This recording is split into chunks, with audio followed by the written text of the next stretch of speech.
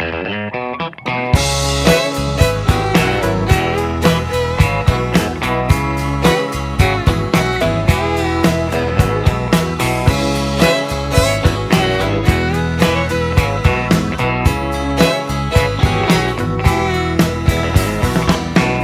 I've been watching you stare at the floor.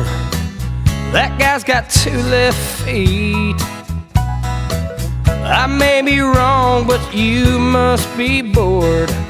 You look like someone who I'd like to meet. I could walk over and say hello, but I think I need one more drink. Looks like you might be getting ready to go. Better find some words quick now, let me think.